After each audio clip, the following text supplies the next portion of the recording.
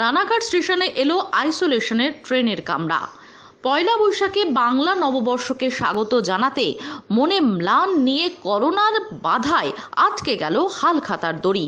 এই মারণ ভাইরাসের মোকাবিলায় দেশ জুড়ে চলছে লকডাউন।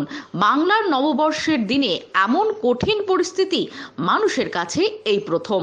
তবুও লুকিয়ে লুকিয়ে অনেকে সিদ্ধিদাতা গণেশের পুজো করলেন। আর এই শুভ দিনেই নদিয়া রানাঘাট রেল জংশনে এলো আইসোলেশনের জন্য একটি ট্রেনের কামরা, যা করোনা আক্রান্তদের জন্য ব্যবহৃত হবে। এই শুভ দিনে রানাঘাটবাসী করোনাকে দূরে সরিয়ে এবং সংক্রমণ এড়াতে অবশ্যই সরকারি নির্দেশ মেনে চলার অঙ্গীকারবদ্ধ। কমল দত্তের রিপোর্ট, নদিয়া।